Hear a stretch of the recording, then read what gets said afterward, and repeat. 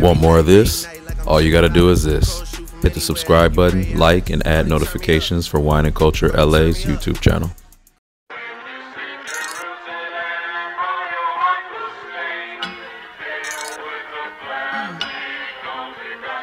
Y'all niggas got me hot.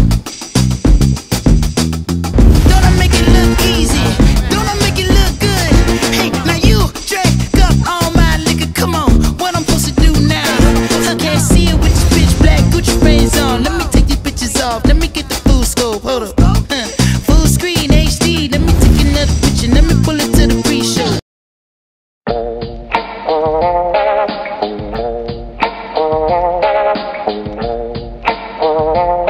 Welcome back, everybody. This is Wine and Culture LA Season 2. I'm your host, Sommelier Dev.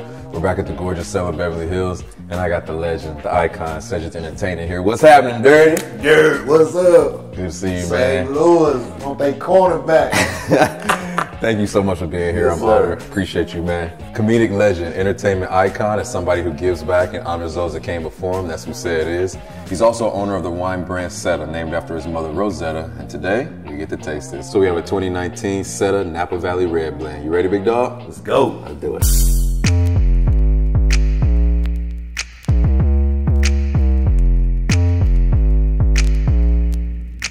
So your mother Rosetta used to say, "We toast our glass with a touch of class." Uh, looking back, was she truly the one that kind of kickstarted your love of wine into what it is today? Yeah, you know, I would say so. I think that, you know, my mom was not much of a drinker, but, Yeah. you know, that was her thing. She would have a glass of wine.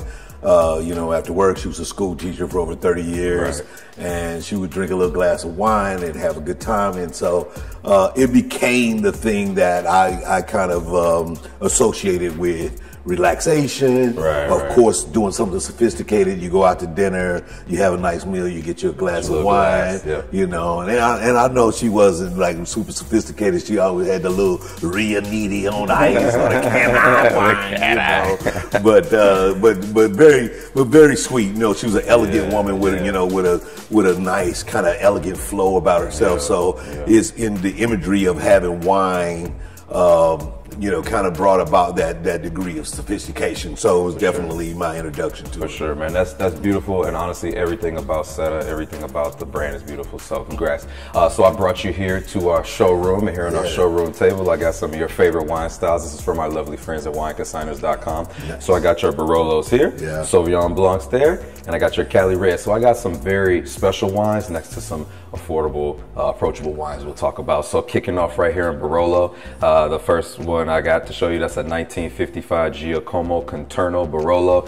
Um, that's actually the oldest wine we've ever had on the show. Literally, that's what Barolo is all about. A long-lived wine that can age forever. 67-year-old wine that we can open today, and it still has great characteristics. Yes. For anybody that likes Barolo, right next to is a much more approachable version. So that's a 2018 GD Vajra Albe Barolo. That's about 40 bucks. Okay. Highly rated. That's big, bold, juicy, and it's versatile. You can crack it open tonight, decant it with somebody special, drink it, or you can hold on to that for a few years and uh, it'll still be amazing. Barolos age very, very well. Yes. So those are Barolos. Sauvignon Blancs. You like you some Sauvignon Blanc, right? Yeah, yeah, I like a little crispy, you know, crisp. like crisp, crisp wine, a little fruit forward. So For sure. That's a 2011 Spottswoode Sonoma Napa Nice, Sauvignon yes. Blanc. Uh-huh. S- uh Sauvignon Blancs really don't age that long in general, Yeah, but exactly. that is a uh, winery and a wine that can age. Like I said, same thing with the Barolo. We can open it today and be kind of surprised of you know how many good characteristics it still has. Um, right next to it, I'm not sure if you heard of La Fete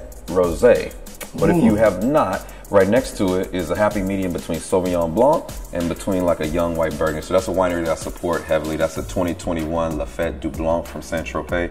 Uh, La Fete Rosé, they have the rosé. If you haven't heard of it before, you will because Chris Paul just invested in it. Okay. So they, they come in with it and they come in hot and heavy. Um, that's go to everyday drinking, $25. I'm good friends with the ownership and I always just got like a bottle of La Fete with me. So I definitely recommend that one. We'll have to, Definitely. I'll get you a bottle of that. uh, Yeah, at the end. definitely, For sure. And then last but not least, man, the, the wines we're gonna be getting into today. So I know the one on our left you recognize pretty well. Yeah, Smith Devereux, man. These are my guys right here. Yep, that's the uh, 2019 Smith Devereux Ibex Single Vineyard Merlot. And the reason why you know that so well is because Ian Devereux is the winemaker. That's your good friend, and he's now your winemaker at Zeta. Yeah, Zeta, right? Yeah. What is it? Yeah, what's it been like working with him, creating Zeta, creating the vision and, and, the, and the wine and everything? You know, it was a, it was really unique. Uh, it, you know, our relationship started uh, from another business partner I have on a, another project, and he just kind of thought that Ian was a person I would just kind of vibe with. And I happened to be in Napa for another event, went by the vineyard, and we sat one day and we just started talking. It was nothing. Of course, you know, you sharing wine, it's just hit it off, and, and then you know, and he had, but he had the writer's background, you know, because he wrote a lot and did articles, but his experience, he's a musician, Uh, you know, so and he likes boxing, so he's just kind of like this all around person, right? So, uh, but his experience about like what he wanted, you know, what what the wine does and why he's like into the earth of it, uh, just really was something that I was like, okay, when I wanted, when I thought about doing a tribute for my mom who had who had passed, and I was just wanted to do something that was special uh, this this idea just manifested itself, and it took some time. It was something I didn't want to do, imme- you know, immediately. Uh, but you know, he let me go through the process, and then you know, tasting and. And you know, Yeah, I, yeah, I yeah. want this. I don't. I want that. And he chose was- the blend. Yeah, exactly. So great. he he was uh, he was really great at that, and so that's what I really like. And so we were able to come and make something I felt was really special. And when, when we landed on what it was, it it all just felt so wonderful, and it's been doing great. Well, yeah. really, really, really proud of the product. man. Yeah, So- I, I, I can't wait to taste it. And, and then uh, the, the star of the show is over there on the end, man. That's the 2019 Rosetta Napa Sad. Valley Red Blend. Um, I've had that before. I can't Yeah. wait to try it again, man. You ready to do this wine tasting? yeah, let's go, Let's baby. hop into it. Let's All rock. right, good.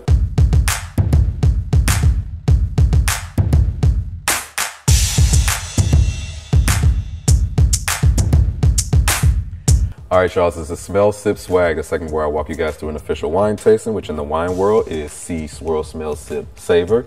Here on our show, See, Swirl, Smell, Sip, Swag. So we gonna kick back, interpret this the best way we know how, have some fun with it, and drink some Setta. Let's go, man. Um, so- you know, swag. I'm serving. Exactly. I'm swagging. I'm serving. I'm Mr. So full disclosure for everybody, I've had this wine before, um, and and Ced I don't know if you know this, but there's sometimes among some segments of the wine industry, not all, that some celebrity-backed products and wines just lack quality. I'm here to tell everybody that this is not one of those wines. You remember when I tried this for the first time a few months ago? Yeah. And I was doing my little nerdy thing and whatever, and you was looking, you was like, my man is like really in that. I was like, 'Cause this is fucking delicious. That's yeah, why. not knowing exactly who you were at the time too, that was Yeah, even yeah, more yeah. unique. Is that the the fact that you were, you know, because a lot of people have learned to fake. Being, being a somm or you know being great at wine tasting, so so but you know but I thought that was really interesting that I could tell that you you did have knowledge you know and so uh, you know it's important you know and of course uh, you know, you know, people have expectation that as a celebrity, you're just going to kind of throw your name on something and expect it to go. You know, and, and after success of like George Clooney, them with the with the tequila, everybody expects it's just mad riches and, and you know, in spirits, and and so you just like, oh, let me just find one to throw my name on, and I'm about to Yeah. go. Yeah. But you know, for me, uh, one, this was you know kind of a, a dedication to my mom for sure, Yeah. and therefore the spirit behind it and why I wanted to uh, do this wine. Uh, you know, it took a lot of love and a lot of care, and so uh, and, you, and uh, hopefully you can taste Oh it. man, I, I definitely did, and so yeah, man. We'll, and I know you've tasted this a hundred times, Yeah. but we'll be able to taste it for you guys. Like I said, I've had it before; it was great. It's gonna be great today, but we get to go through it for you guys, and let's rock it, man. All right, cool. So the first uh, thing, two essence about wine tasting are see and swirl. So we're gonna look at this and kind of give it a little swirl. Yeah. Get my rhythm.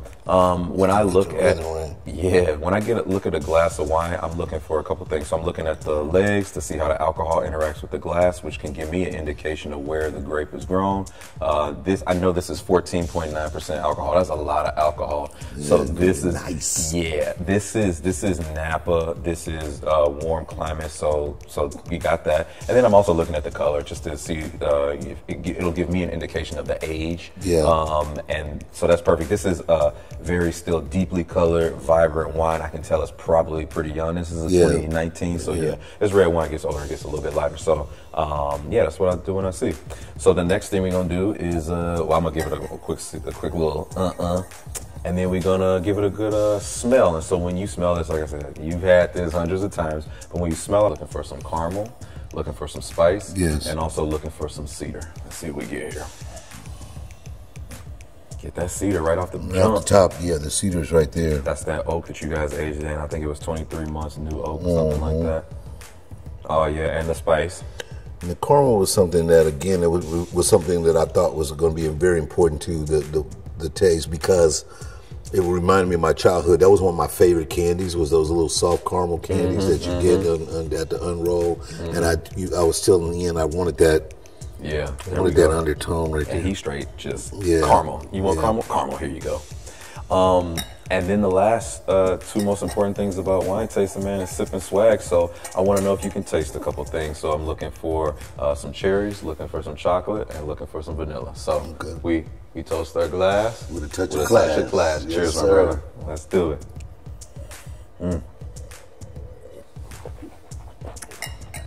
Well, the cherries pop right away. You know, Immediately. yeah, the cherries pop right away. This is oh, I can't wait for for the crew to taste this because this is. I always look for wines that are perfectly like in balance, that harmony of that fruit, that tannin, that acidity, that alcohol. And when I tasted this a few months ago, it's the same feeling I'm having now. It just has that perfect balance. 15% alcohol, but Yeah. it's not too much. Yeah, it's not too it's not too aggressive. That's one of the things too that I you know I I love to you know know that you're having a, a glass of wine.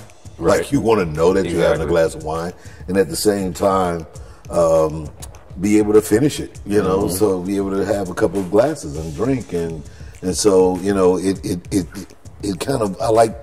This is the thing that it hits the front of your your your palate, the Mm-hmm. front taste, and then it, as it's going away or I Mm-hmm. The don't finish, anticipate the finish, finishes, mhm. it it gives you all kinds of different Yeah. other things. I nuances. Now Yeah. I, I'm getting that vanilla like coming in, coming in for real right now. Um, cherries, vanilla. Yeah. I'm the, maybe the chocolate is gonna come as like a tertiary flavor, come a little bit later. I'm Yeah. probably now that of course when you, as soon as you say, Say it you right start- there. you start- It is right there, though. It's right there. So honestly, I'm getting everything It's so good. I'm gonna have to get some more of this for sure. Once again, my brother. Thank Cheers. you so much, man. Of course, man. Cheers. man. So I want to ask you. Um, always like to bring people on the show and just throw something at them. Something I didn't tell them that. that, that- Okay. And you just boom, just throw it at them. So here you go.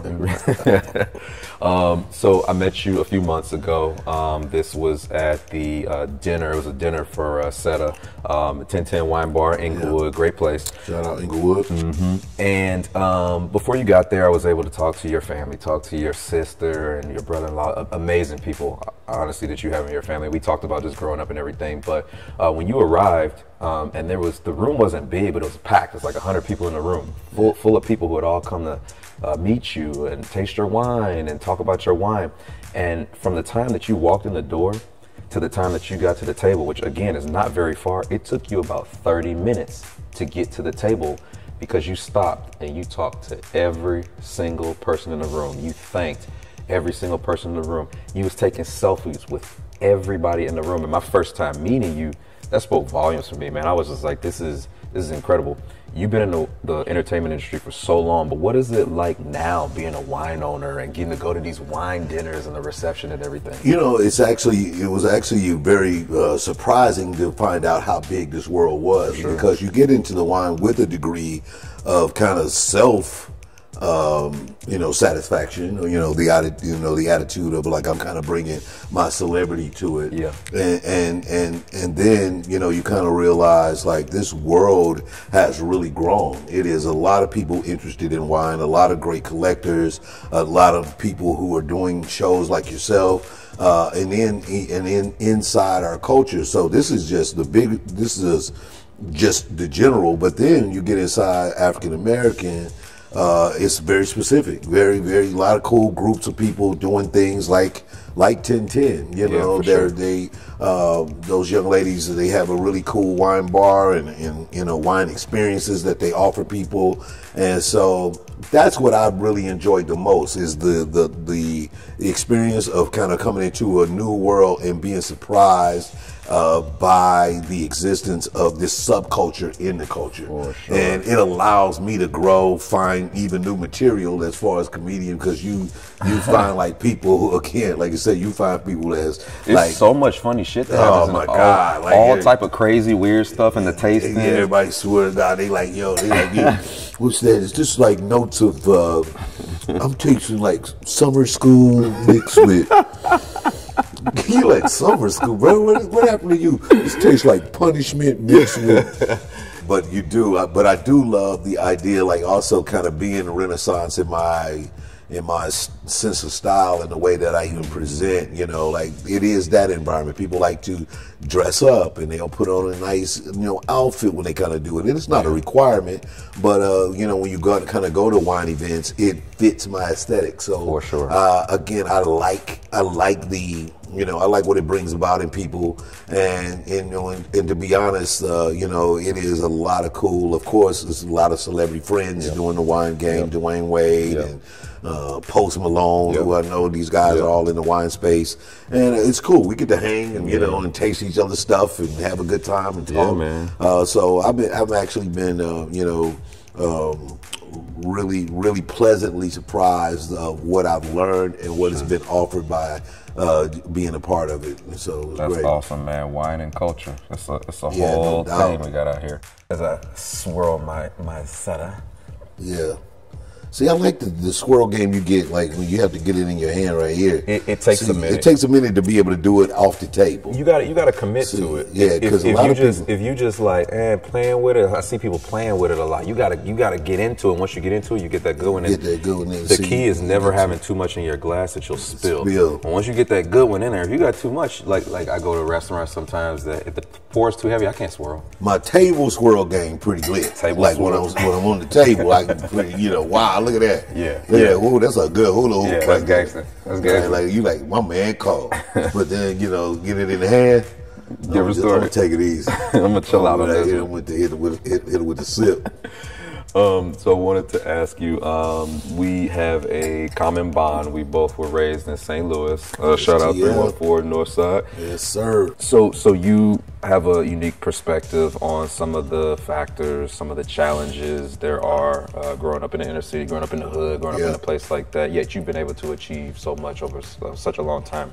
Um, if you have any advice, what's your advice for dreamers, for people coming up that have a dream, that have a goal, something that they want to achieve, coming from a place like we came from, uh, coming straight out of Big Unc's mouth? What what Yeah. would be your advice for, for their path of success? Well, you know, the, the spirit of the spirit of who you are as a person is one that you have to emote first. I always tell people that it's all about what you believe inside because where you where you are doesn't have to limit you. You know, a lot of people feel like have to be somewhere in order to make it, and this is not necessarily true because. you you you allow you allow your light to turn up and if, and if your light starts to really turn up inside you it'll lead you, You- you- it'll it'll start to pull you uh you know where you it'll pull you beyond you know uh where you're supposed to be because you know i started out you know again not knowing i was going to be a comedian i mean the, the whole name came because i was i started out thinking i was going to be a singer mm-hmm. and you know so i used to sing? sing I used to sing all the time, right? Like I used to sing in groups and all that. And comedy was this thing I did like just on the side. So, but as I started to like really like enjoy making people laugh, is what led me, you know. And I had, it, and I again, I went to college. I had, I worked in corporate America. I had a degree, so I had all these paths that I could have, you know, could have gone on. Yet my my, I felt like my light took me to where I was supposed to be. And I recommend that to people. If you believe in something, you you're an artist, you're a camera person, you a you're a director, you you do clothes, believe in it. Believe in it so much that it'll just pull you. Yeah. Because you know this idea that you that you're limited by your circumstances, you start to believe that, and that'll push you down. Yeah. You can't really let those things control it. You can, you know, as living proof, You Mo, proof. me, you, Yeah. are, are people that can, you know, you can take it, and you don't have to say take it to go where you don't have to ever come back. You know, both me and Nelly, myself, uh, you know, we go back all the time. You know, and you hold it down for the city. Uh, you know, Jayson Tatum and all the, you know, and Yeah. Ezekiel and all these guys Yeah. like. You know that we all so St. Louis still very much still. You know, so uh, it's it's a it's a 100 kind of situation. But Yeah. I definitely encourage people to believe in themselves, believe in that power, and then know that you can you can start where you are. You can kind of start your dream where you are. Mm-hmm. You know, people go like, "I want to be an actor." Start acting. Yeah. Act, get into plays. Find something to do right there. If you don't have the ability to come to LA right away, what can you do right there? What can what is an opportunity for you? They got the black rep. They got they got theater situations going on in St. Louis. Yeah. You know, try to go audition, be a part of it, do commercials, be a part of the Yeah. the local environment that's saying, "Hey, this is what we do." That's incredible advice, to say the least, man. Thank you, man. Um, this has been an honor, man. It's almost time for last call. You ready to cheers up and, and turn up? No doubt. Let's do Let's it. do it, man. Congratulations. Right. Cheers, brother. Cheers, man. See, he got better. He got better. I better told right you. there. That's awesome. Let's do it, brother.